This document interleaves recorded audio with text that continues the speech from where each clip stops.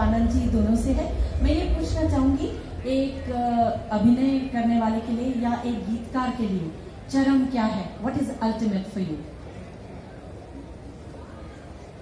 बहुत अच्छा सवाल है।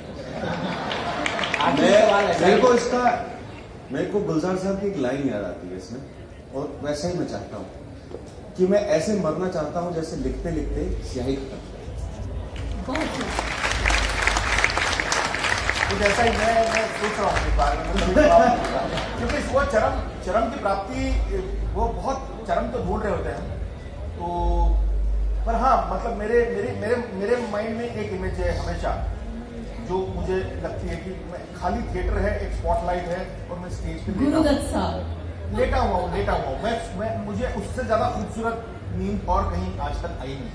वो मैं मुझे लगता है कि वो वो जो खाली कुर्सियों पे जो एनर्जी होती है जहाँ पे कुछ परफॉर्मेंसेस हुई है जो कमाल की हुई है जो कुछ होने वाली है तो थिएटर वो वो, वो मेरे लिए हमेशा एक खाए रहा है। और मुझे विंग में खड़े होकर ना बहुत मैं बहुत खुश होता हूँ।